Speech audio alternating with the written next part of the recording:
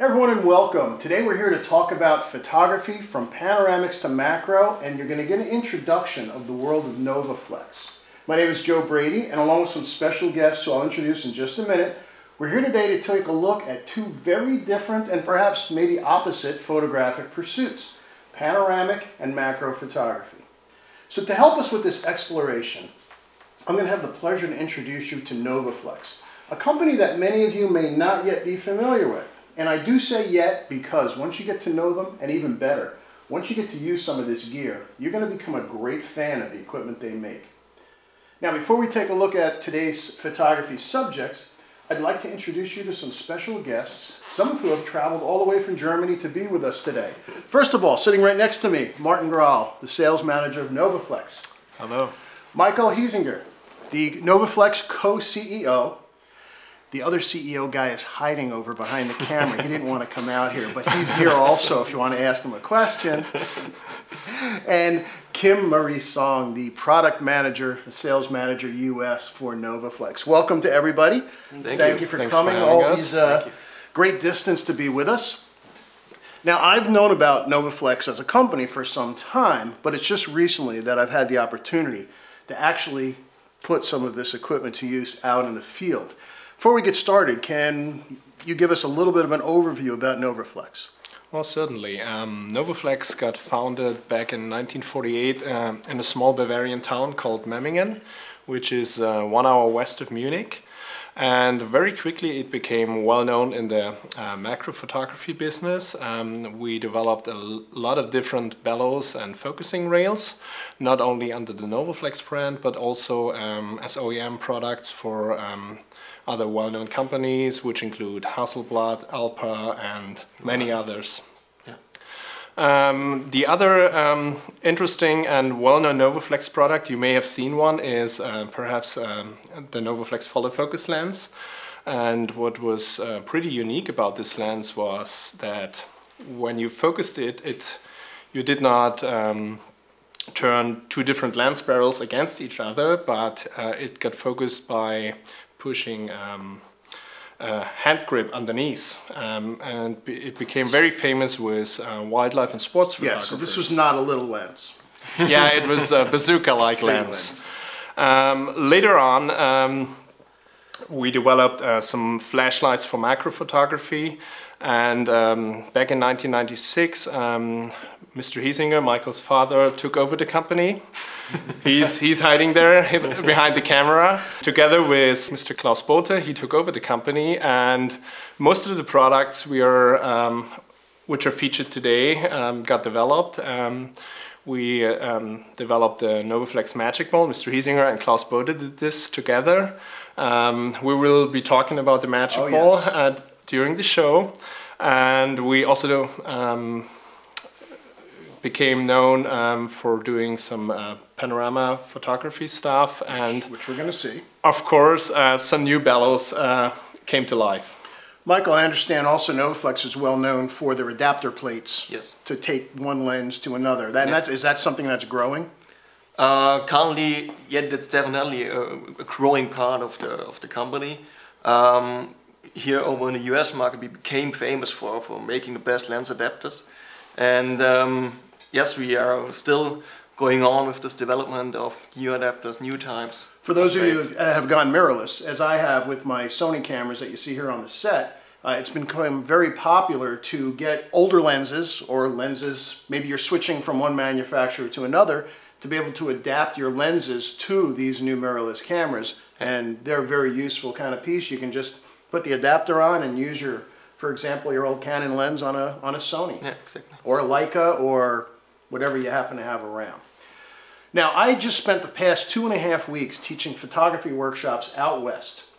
And the tripod head, which I'll show you a little bit later, is called the Magic Ball. It became an object of desire mm. for everybody that was on this trip. I have never seen a tripod head like this before. Once you use one, you will want one. It was dangerous for me to play with because now I have I have to have it. And some of your designs are somewhat unique. I hadn't seen this. Act- I'm going to go get it while while we're discussing this. How did you come up with this idea? I'm going to grab the head. my father Reinhard and the co-founder Klaus Bode came up with the idea back in 1998. Um, the goal was to create something not only different, but um, something that makes uh, makes pleasure to use uh, while while doing your shots, and that's something very unique. We came up with an upside down ball head concept, so they redesigned the whole ball classic ball head setup, and I- that's what it looks yeah, like. I had never seen anything like this, and I've used a lot of tripod heads over the years. Without a doubt, this is my favorite tripod head I have ever used. This is it right here. It's got a single knob here, and it's got, what, 120 degrees in any direction, anywhere you want, and as soon as you tighten this up, it won't move. You could have a really big lens on this, it doesn't move. I put my entire body weight on the thing and I couldn't get the head to move. Uh, it's really the, simply the most, it's the easiest, it's the most stable, it's the best machine, it's the best tripod head I've ever used. So they didn't pay me to say that. Uh, it was just my experience of using this out west, actually out in the field. Now, I'd like to get started with our two topics. So we're going to start with an overview first of panoramic photography. Now, I got to put the VR Panorama 3 system to use, which is standing right here. And this is another piece of gear that once I started using, I don't want to live without this. Uh, I recorded some video during my last trip to capture some great panoramic images. So we're going to head out to Jackson Hole, Wyoming and Grand Teton National Park to see the system in action. We'll all be in the chat room to answer your questions and talk about them when we come back. But let's first go out to Grand Teton.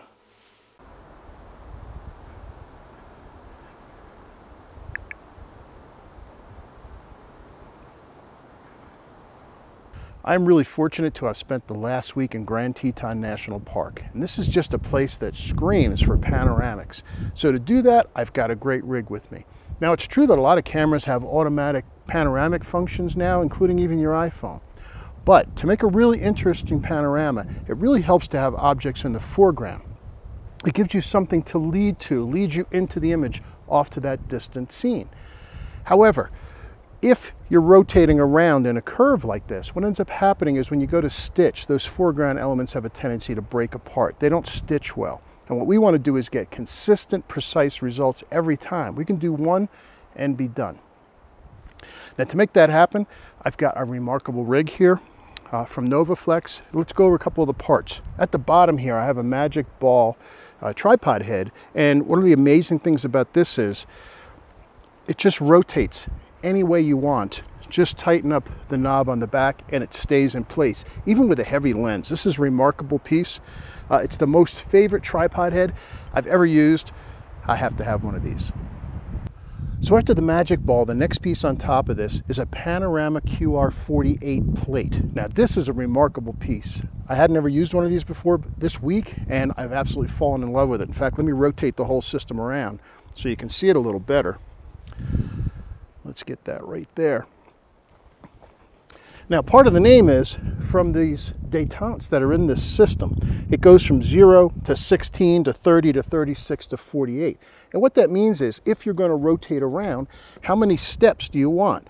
So if I go 16, it clicks into 16 different rotations around the system. Really makes it beautiful, makes it repeatable. If you want to be really fine, you can go all the way up to 48, and then each of your movements is much smaller. Really makes getting panoramas very quick and easy. I found that for most of my lenses, 16 to 35 and 24 to 70, that either the 16 steps or the 30 steps gives me just the perfect amount of overlap for each image when I go to restitch that. Very cool piece, you're gonna want one of these. Now on top of that, I have a VR pano rig. This is the Model 2, and I've got my camera mounted horizontally. I'm gonna shoot vertically, but I first wanna show you something about the nodal point. And what the nodal point is, is it's the optical center of the camera.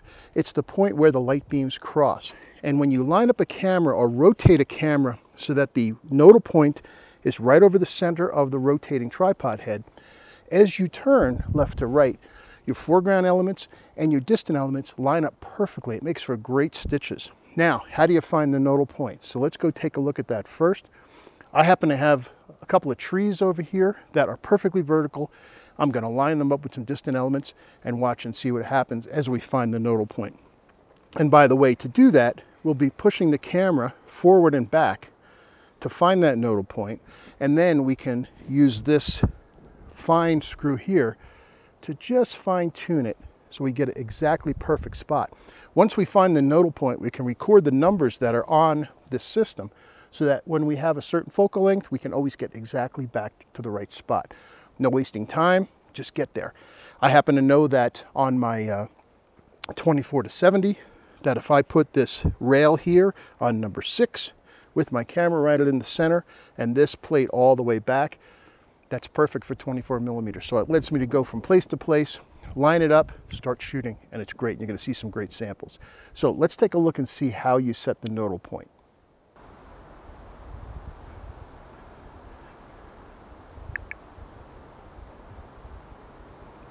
So to set up my nodal point on the panoramic rig, I'm going to take advantage of this tree right here. It's perfectly straight and it gives me a reference in the foreground to the background. Now if you look behind, there's a boulder in the middle of the lake there, and I've got the tree lined up just with the left edge of the boulder. What's going to happen is as the camera rotates, normally you're going to see this move to the distance, uh, the distant objects. Same thing if you put your finger out in front and you close your eyes. One at a time, you'll see your finger jump left and right. Same thing happens with your camera if it's not rotating on the nodal point. So I move the camera a little closer to the shore. I've got my tree here. I've got my boulder off in the lake. Let's take a look first as we rotate the camera mounted over the center of the ball head. This is what would happen if you didn't have a VR rig and you just mounted it on that ball head. So let's watch as the tree moves in relationship to the distant boulder. Then I'll move the camera back in the rig so that we can find the nodal point and then watch how this tree stays lined up with that boulder no matter which way we turned. That's what allows you to get a perfect stitch every time. So here we have the camera set in the middle of the tripod head, just as if it was a standard ball head, and watch what happens as the tree moves in relationship to the boulder in the lake.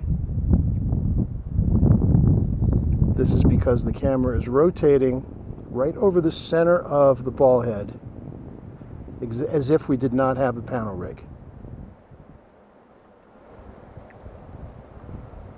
Now let's move back to our nodal point and see what happens as we rotate.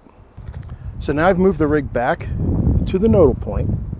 Now watch what happens as we rotate left.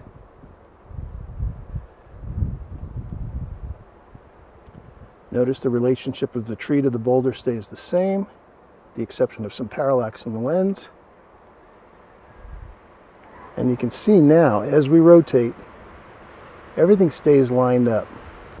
So now that we found the nodal point, I do want to shoot this as a vertical and have everything stitched together. So what I'm going to do is just flip the camera on its mount to a vertical.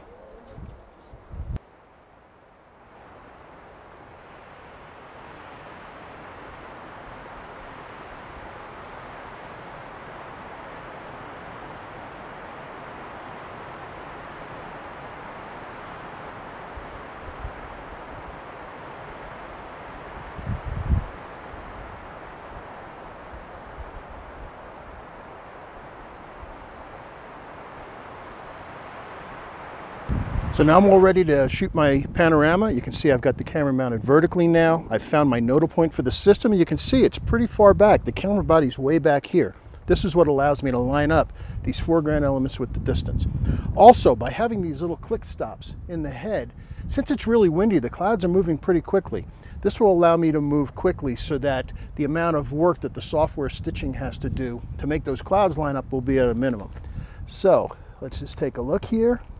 And the beauty is I don't even have to look through the system. I can just start shooting. One, two, three, four, five, six, seven, eight. Let's do one more. Nine. And that's it. That's how easy it is to get a really complex panorama with foreground elements and distant elements. I'll take you through the software so you can see it, and I want to show you some great examples that I've been able to get this week both at a couple of days I was in Telluride before I came here, and then some great panoramics in Grand Teton, all made possible because of this rig. I love it. I want one. You're going to want one too.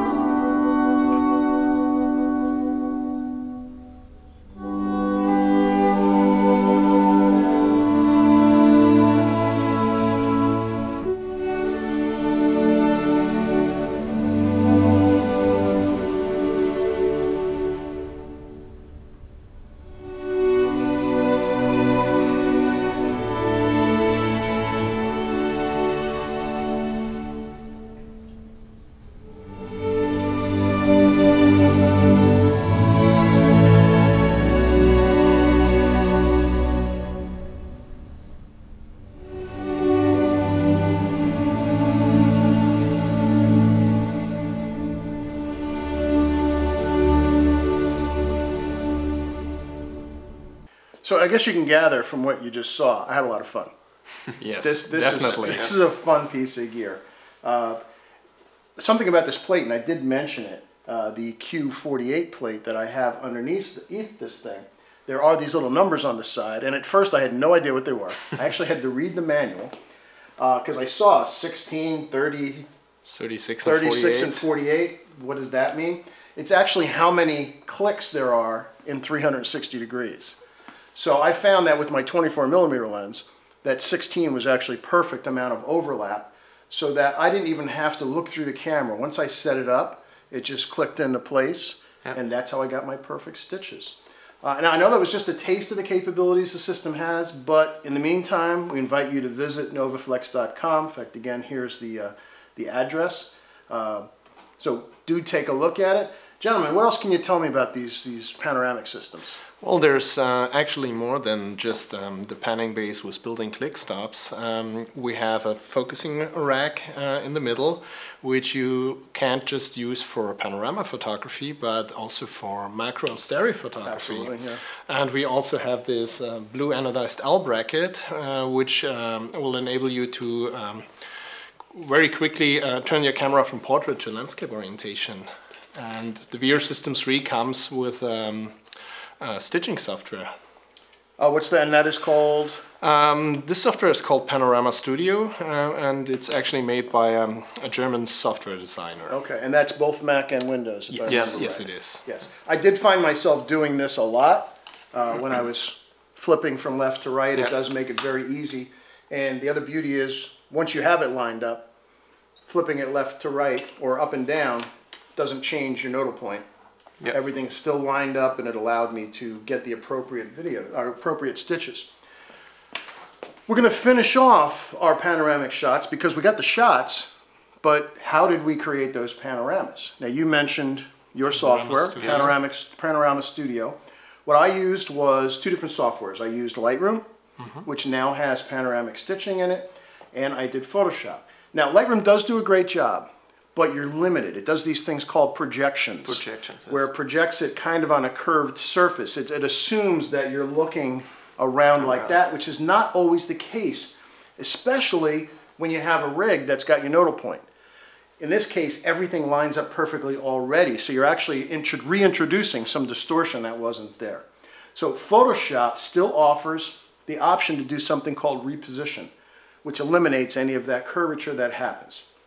So you make your initial capture using the panoramic rig around the nodal point, and then the software will do the rest. So let's take a look. We're going to go into Lightroom first, and then we'll see the advantage that Photoshop offers for this kind of stitching.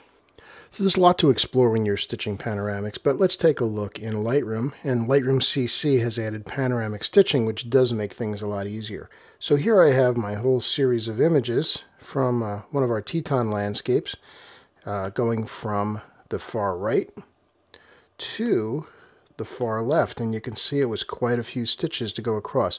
By the way, a handy thing out in the field, uh, I'll stick my hand in front of the lens to let me know that it's the beginning or end of a panoramic stitch.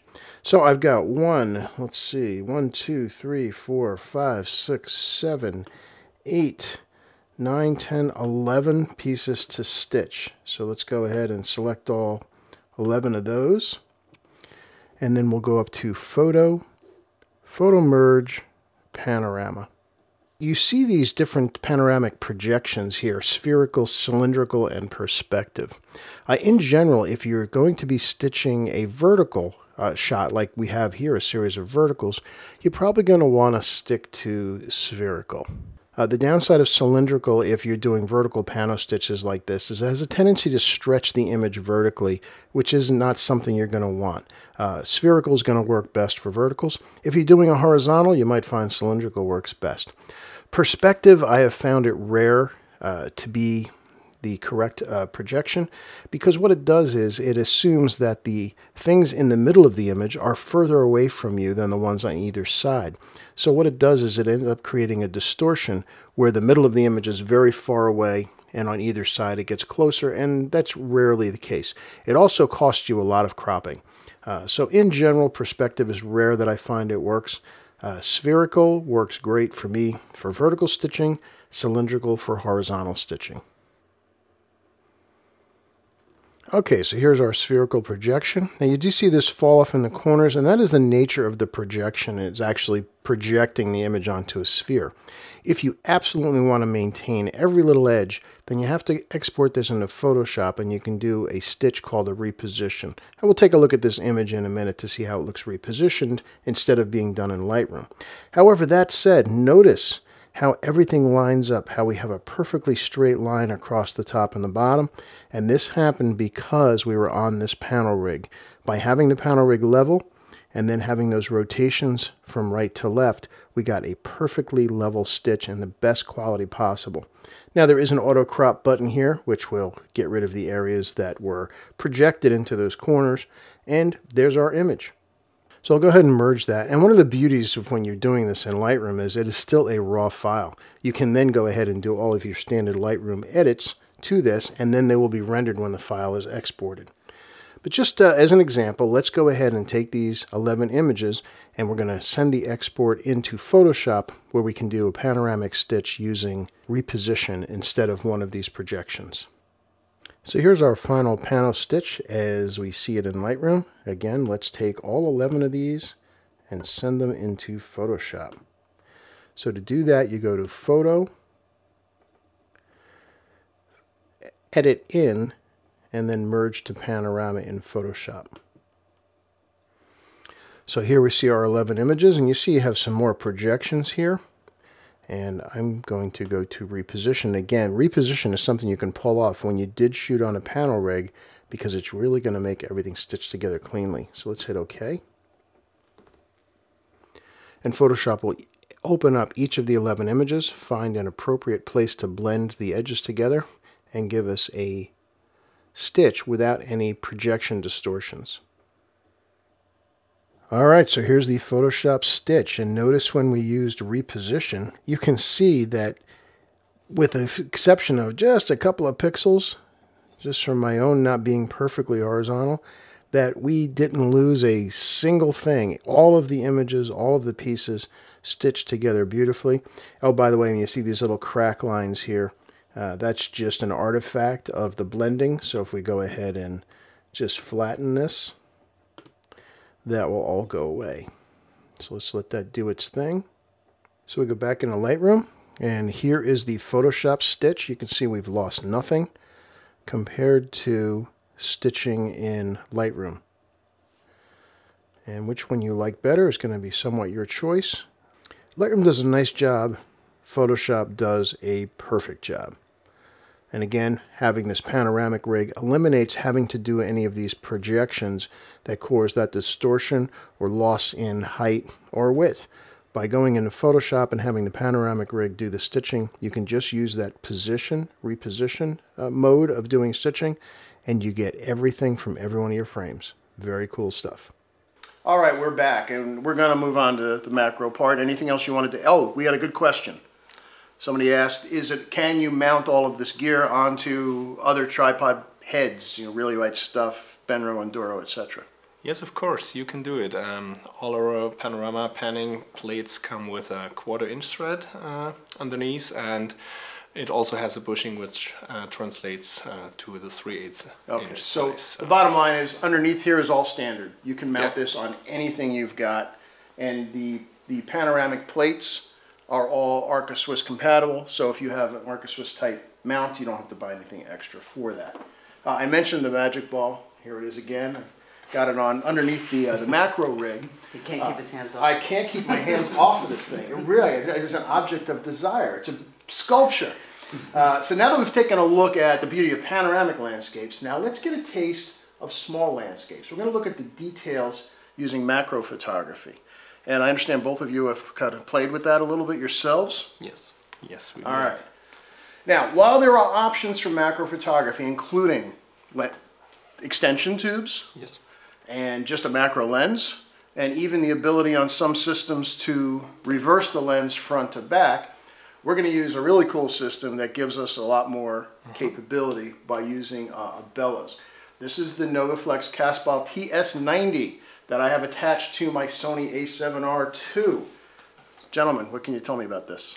Well, this is um, actually um, a variable system which uh, will enable customers to use different types of cameras, um, starting with mirrorless cameras, DSLR cameras, medium format cameras. We have uh, So it's just a ring, whole just an range of adapter adapters. ring. Yes, an adapter ring, yes. Yes. you just replace it. And on the lens side, we can use um, 35 millimeter lenses, but it has to be um, a manual one with a So we manual gotta go aperture back control to, ring. pull out your old lenses. You Exactly. need, a, you need a manual aperture, You can use enlargement lenses. which is kind of what this is. This is a Schneider Kreuznach Schneider Kreuznach 90 millimeter. 90 millimeter lens. APO-Digitar. And um, the whole thing itself is just a bellows attachment. Uh, it kind of attaches to the rail underneath, so you can take it off and uh, use the rail as a s- standard focusing rack. Okay, so just like we saw with the panoramic system. Yes, exactly. it's can- a completely modular system. So everything's modular, kind of a la carte. You can mix and match pieces and kind of build a kit that's going to do what you need to do. we have tilt and shift in the front. It's about 25 degrees, but most 25 you, you, So you what's need the about mean 10. is- Yeah, so you're, if you're not familiar with a bellows system or you've never done 4x5 photography, this changes the focal plane Exactly. so that you can have something kind of angled off at a distance and yet maintain focus by doing this. Uh, So- we, we can also shift um, the lens panel. Okay, so again, you can change vertical distortions, all. all that. Exactly. Yes, so if you've never used a bellows system, it does give you a lot of flexibility. Now, again, I had a lot of fun, maybe too much fun, using this. Uh, I shot some stuff I found around the yard, as well as some interesting product close-ups in my studio. Some of you guys know I have this uh, fun relationship with a candy shop in my town, and they gave me a whole bunch of truffles to play with uh, that we photographed. So let's head over to my studio and take a look and see this in action, and we're going to photograph some candy. see, we'll talk about it when we get back. So now we're back in my studio, and now we're going to go from the panoramic to the macro. And for the macro, I've got this amazing system sitting on top of my tripod here, and it's the uh, bellows system from Novoflex. Now there's various different ones. There are basic bellows where you just put your lens in the front. This one's a specialty system. It's got a 90 millimeter lens in the front that would allow me to get down to f32 should I want. And on the back, I just have an adapter ring right here to mount my Sony a7R II onto this system. Now there's lots of ways you can do macro. You can use extension tubes. You can use just a straight macro lens. There's even some systems where you can actually flip the lens backwards and mount it onto your camera, which will allow you to focus closer. However, nothing matches the precision and the versatility of having a bellows system. Now, I'm sure you've seen this in the old-fashioned cameras where the, the bellows was used to actually do the focusing, and that's kind of what's happening here. But the difference is when you're doing macro work, you need a lot of precision, particularly if you want to have focus from near to far. And I'm going to show you a really cool software that allows us to do that. Let me spin this around so you can see it a little better. So you can see I've got the, the lens in front, and I've got this on the, the same tripod head that I was using for my panoramics, the Magic Ball. I love it. So you can see my camera mounted here, and in the front, I've got a little adjustment knob that will change the extension of this bellows. This will allow me to get in closer and change my focus point. Now, when you're dealing with macro and you're getting very close, you have a very, very, very narrow depth of field. And you're going to see that through here. But the advantage of some of the new focusing systems is, in particular one I'm going to use called Helicon Focus, allows you to take multiple shots, just each time moving a little bit of my focus point, and then combine them in to one single image that's got focus from beginning to end. It's really amazing. So a couple of the things that go on with this system that you may or may not familiar with. Let's say, for example, I'm just taking a picture of something simple like a pen, or maybe it's jewelry or something like that. Now, if the pen is parallel to the lens, it's easy to get everything in focus. But where it gets troublesome is when you angle. If you angle away. Now keep in mind, again, you've only got maybe this much focus when we're filling this pen in the frame. So there's two ways to do that. You can either do the focus stacking, where you actually take multiple images and focus each time moving back from the front to the back of the pen. Another option you have with a bellows system like this is the ability to change the front element that the lens is sitting in. So if I loosen this here, you can see I can actually turn the lens left and right. I can rotate it. And if I have the camera mounted the other way, this can actually go up and down as well. Now what this does is it changes the plane of focus. With this front plate, as you would have with a normal macro lens or an extension tube, everything that's parallel to the lens will be in focus. As soon as it's off closer or further away, it'll go out of focus. By actually rotating the front element so that it is now changing its angle, if I change the angle of the lens plane, what happens is the focal plane changes. So you can actually have something at an angle that you're photographing, and by changing the front plate with the lens in it to start to match that angle, it changes the depth of field. It actually changes the focus plane to mirror what is going on here.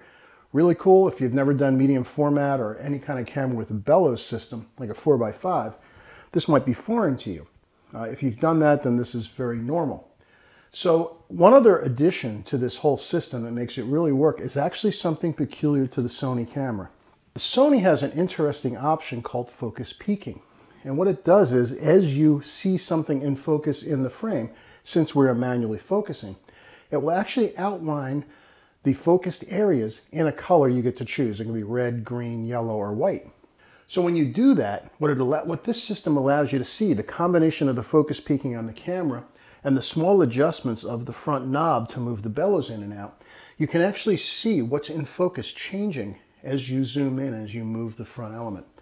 Very cool. So what you can do is you just wait to see, okay, here's the front piece in focus, and just take little movements back so that you see that little focus line move.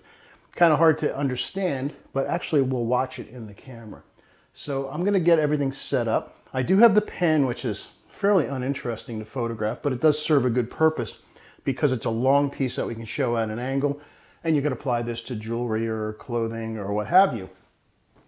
To have a little more fun, I stopped at our friend's place, the Candy Apple Shop here in Warwick, and I got a box of truffles. So I've got little truffles set in a line, and I've got a piece of black plexiglass behind me, which is really cool for products and jewelry. And we're gonna set up a little line of truffles, show you how you can change the focus point as you move back and capture each of those images, and then we'll use the focus stacking software to put them together. We'll also do another one with the front bellows, uh, front bellows uh, lens attachment being rotated so we can see if we can get close to focus from near to far.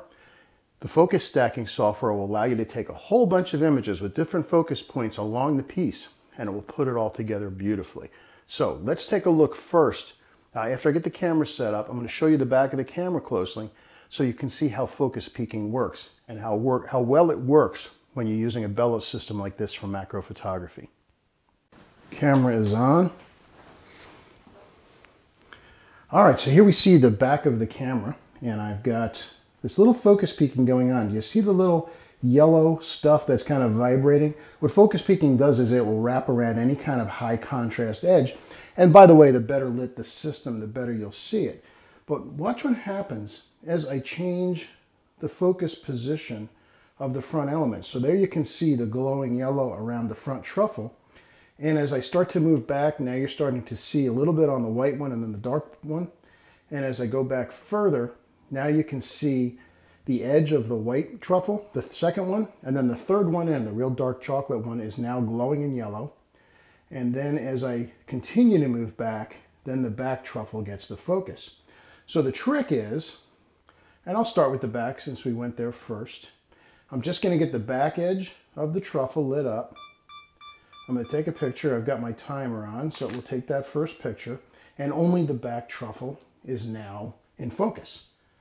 So I'm gonna back off a little bit. I'm gonna start to come closer to the foreground and now we can see some of the, the third truffle out starting to get in focus. All right. Again, the first two are still out of focus. I'm going to come in a little bit more. We'll do about eight shots or so. Okay. Now the second, the third truffle is in sharp focus. I'm to come in a little further until the second one starts to show up. better. We come in a little bit more. Now we're starting to see a little bit of the front truffle start to light up. Again, that's the camera telling us that it's now starting to get into focus. Come in a little bit more. And the precision of this bellows is what makes this possible because everything stays lined up.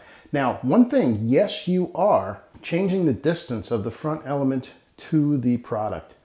And that is going to cause a slight change in size. However, the software is able to deal with that to make sure that when it puts it together, everything is sized perfectly. Let's come in a little bit more right to the front edge of the front truffle. All right, now we've got our series of shots where this first one has just the front truffle. In fact, if I hit the play button, the front truffle is in focus. And as I start to go back, you can see it's starting to shrink. But as it does that, the focus point moves back to the last truffle. So we're going to take these images into the computer and we're going to let the software do its magic. Now, while we're here, let's do one other option. One other option I mentioned about moving the front plate. I'm going to have the front plate mirror the angle of the products. Now, as I do that, it moves. So let's go ahead and reframe. So I'll loosen my tripod head here. Got to be careful you don't go too far. You start to cause a lot of vignetting as you're starting to see on that last one. All right, so now I have the front plate where the lens is attached angled so that it mirrors the angle of the truffles out there. So let's, and you can see already that we've gotten more focus. You can see by doing that, that both the front truffle is in focus as well as the third one in. And we can also adjust to see. Now the focus moves a little bit. We want to see if we can get a place where we've got all of them in pretty good focus, which seems to be about right there. So let's try this. So here's a single shot, and we'll compare this to our focus stacking to see how close you're able to get by using this front element.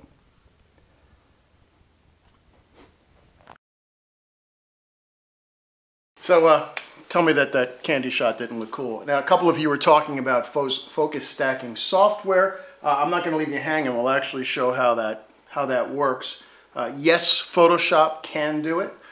I did find that Helicon Focus, though, really, really did, That's a, good it one. did a better job. It was very fast, and it gives you a couple different options. So, any other things you want to add about the, uh, the macro system? Michael? Currently, It's Um, really straightforward. Really, the, the- It really is. the point you have to we have to notice is what you can um, what you can reach with the Bella system. So if you Oh, take, that's a good point. If We were you, talking if you about can, lenses, yes. If you use shorter focal lengths, um, you can reach up to seven time magnification uh, over the Bella system itself. So um, So it's kind of counterintuitive. you would think yes. you'd need a longer lens for greater magnification. it's the not. opposite. It's the opposite. So with a 90 millimeter, we're at about one to one. exactly yes. At a 24 millimeter, it was the 24 uh, going up to about seven times. seven to one magnification. yeah. 20, So 28. 28. 28. So if you're 28. into uh, if you're into insects, Yeah, you have. You're if you're into bugs, go 28. Yeah. So it's that's certainly one of the options. Uh, I did I did have a lot of fun with this, and as you could see, by doing those multiple shots over the course of the changing the focus point, it stacked together well. Now you, you probably would like to see how that actually happens. So let's go back into software and see how we can stack together images with different focus points into a close-up shot that's going to have tack sharp focus from front to back. And again, we did try it with the bellows, with the shift. By doing this, that will change the, the focus plane. focus. Yes. However, when you've got an extreme plane, if you go too far, you're going to start to vignette. Yeah, you're it's limited. exactly the same. So by do, doing the focus stack, you can have focus from, from near to far. So let's see how the focus stacking is done. You're going to be amazed how easy it is. Well, we'll wrap up and then we'll come back and take the last of your questions. So I've brought our images in uh, of our focus stack, and you can see them here. I've got one, two, three, four, five, six, seven, eight of them. So here's our front truffle in focus. And if I go to the first in this series, we'll see the far truffle in focus. And you can see how there's much of a size change, but still no worries. So I'm going to take these eight images and I'm going to export them. I'm just going to export them as JPEGs to make this process a little faster. We'll make them 1920 since that's the resolution of the video. And I'll export these eight files and then we'll bring them into Helicon Focus. While that's doing it, Let's take a look at the last image here. And this is the one where I adjusted the focal plane of the front element on the bellows system. It does a pretty good job. It's not quite as sharp focus as we're going to see with the focus stacking. As soon as this is done exporting here, we can kind of zoom in a bit. We'll look at the front. Not too bad. We can see we've got the front of the truffle in pretty good focus. We've got a little defocusing out here. That's not necessarily a problem. And as we go to the back, holds focus pretty well. It's really not terrible. And again, since we had the focus plane mirroring this angle of the truffles, it did a pretty good job. And actually, where it started to fall off was towards the back. So that's not terrible, but let's take a look and see what the focus stacking software can do. So let's switch over to Helicon Focus. And I'm just going to open up the images that we just exported. And here's the Focus Stack 2. So here's our eight images. I'm going to open these and it brings them right into the software. And you can see again from the first one, we've got focus, nothing in the front. I'm going to use the method A, the basic method, and let's just click on render and see what happens. So we go ahead and it automatically scans through all of them and holy cow, look at that image. You can see already everything's in close focus here. In fact, let's zoom in a bit. So you can see now this image on the right compared to the one on the left, you can see they're all in focus. Let me go ahead and save this. And we'll bring it back into Lightroom. And I'll call it uh, Focus Stack 2. And save that. I'm going to do it at a high resolution. And we'll take a look at this back in Lightroom so we can see better. Now, there's a lot more options to this software, and I invite you to explore more. Uh, you can read about what they do. You can see continuous surfaces if we go to method C, if you're doing a very deep stack. And method A is very smooth and preserves colors. I, I like this one for doing things like food. So let's jump back into Lightroom, and we're going to go ahead and import that image. All right, so here's our focus stack brought in. Let's go ahead and zoom in. And you can see as we scan from the front truffle all the way to the back, everything's just tack sharp. It's really quite a remarkable system. And there's our image ready for the video. Very cool stuff. As long as we're here, let me just show you another example. Uh, this was of a, of a deep lollipop, and you can see that it again is in focus from one edge to the other. And when you compare it to the actual individual images, you can see, actually, let's just look at the first and last so you can see that. There's the front in focus, there's the back in focus, and we were able to stack it to here.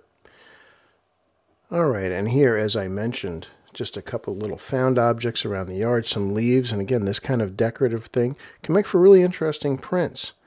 And here's one of our invites, just a leaf with a little bit of water in it and then getting up close just to one little flower sitting on a, a railing with some peeling paint just so you can see. See a little closer. One, two, three. And this stuff makes great decorative artwork that people will buy. And there it is, good enough to eat. And again, the great, the great thing about this part is I get to eat them now. I hope you get a sense of how much fun this has been. Now, to me, this is both fun and a little bit dangerous because I get started using these things, and these things are a lot of fun. There's so many things you can go out and photograph you never thought of. This firm's a very decorative kind of photography, by the way. If you're looking to sell photography, you can find, find random things. I shot some leaves, as I, as I showed you.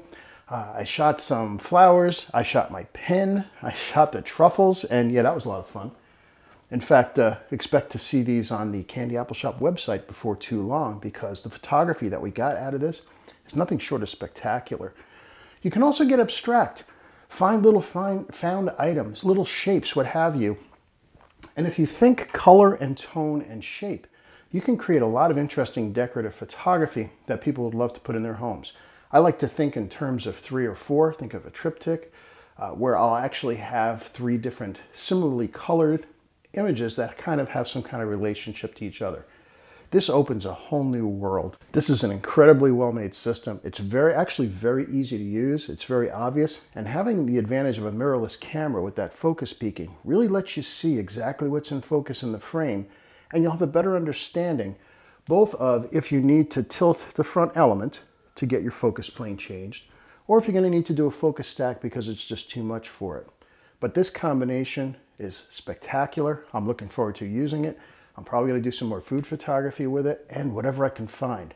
I know insects are fun, plants, what have you, found items. Stay tuned, there's a lot more to come. So let's get back to the studio.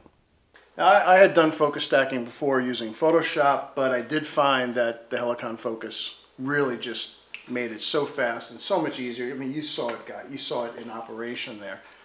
You know, the whole thing about macro photography is it does make you look at the world a little differently.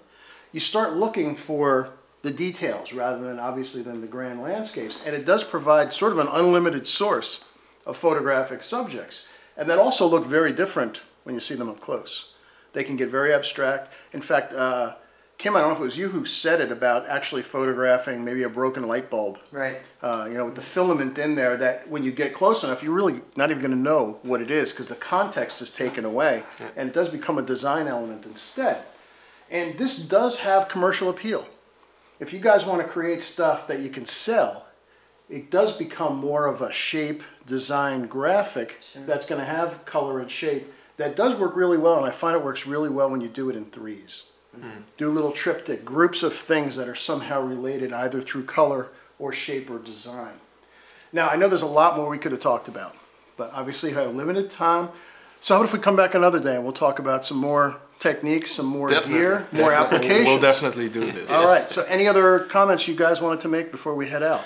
Well, I think we, we covered most of it. Um, thanks uh, for having us. Thank you. Um, It Our was pleasure. it was a lot of fun doing this webinar with you, Joe, and um, we hope to do some new webinars in the future. I with you. hope so too. Would be great. As you can imagine, there's a lot more to Novoflex that we'll plan on exploring in the near future. In the meantime, again, you can visit novoflex.com. Let's uh, just take a look at that address one more time in case I'm not enunciating it correctly or well enough. And also, if you happen to end up in it in German, just make sure you click on the word English and uh, you'll see the site in, in English.